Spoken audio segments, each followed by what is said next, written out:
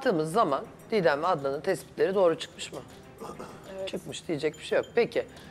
Ama Didem sen burada tespiti bildirirken bir yandan da onları yakınlaştırmaya çalışıyor gibisin.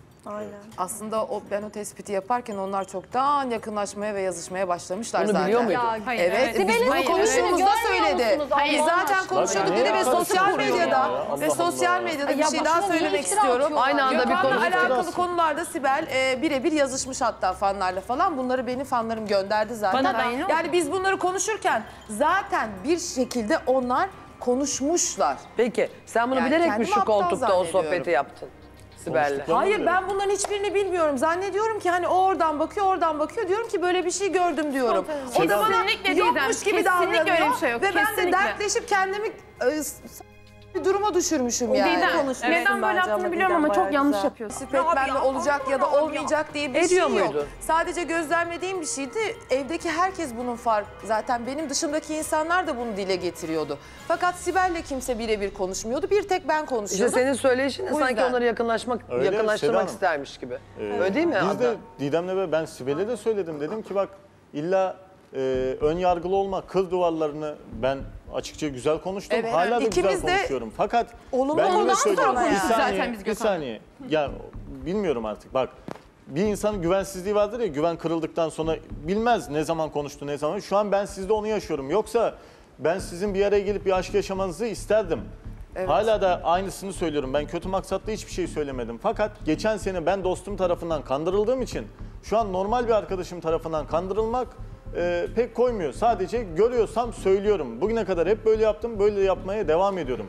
Yoksa sizin aşkınızla alakalı Allah mutlu mesut etsin. Aynen. Diyecek Allah hiçbir razı şeyim yok. Diyecek hiçbir şey yok. Gamze?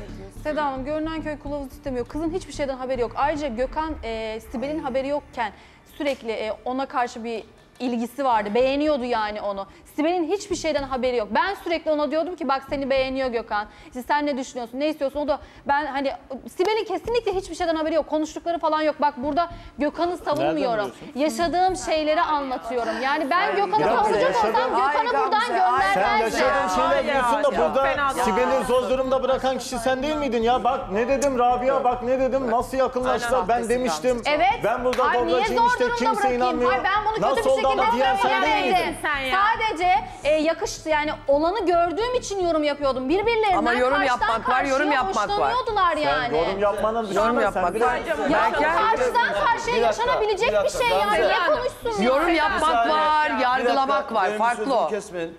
Ee, Gamze burada e, mağdur kadının yanında olup e, kendini göstermeye çalışıyorsun. Aynen. Yapma. Güzel yapma. prim Ya Bak, bir şey söyleyeceğim. Ya, Berker sen, ne diyorsun sen ya? burada söylüyor. Sen ne diyorsun? Benim, mazlumun bak, benim yanındaki böyle bir şeye fedakar arkadaşı oynayarak halk da bunu görecek sana diyecek ki aa Gamze'ye bak mazlum bir kadın var ve o kadının Ben yanında destek oluyor. Herkes ona-. Ben bir dakika, bir dakika. Bir dakika, bir dakika. Berker Böyle konuşsun. şeylerle bu ev bak böyle şeyler yaparak bu evde ömrünü uzatmaya çalışma. Aşk yaşayarak bu evde ömrünü Pardon. uzatırsın.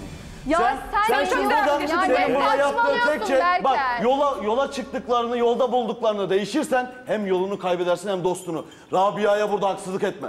Rabia'ya haksızlık etme. Ya arkadaşım, bu sizin bak, bak sen burada, sen burada sadece mazlumun yanındaki kadını oynuyorsun. Halka bunu göstermeye çalışıyorsun. Bunu yapma. Sen bu değilsin. Sen de açık kapı bulmuşsun Sen bu mübarek maşallah sen bu çok güzel değilsin.